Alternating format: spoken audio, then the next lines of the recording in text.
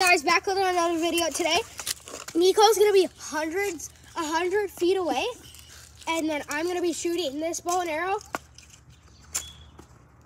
right at him to see if he can catch it. I thought you were gonna hit me there.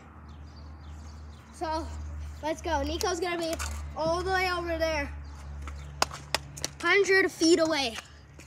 Right there. Go a little bit farther, okay?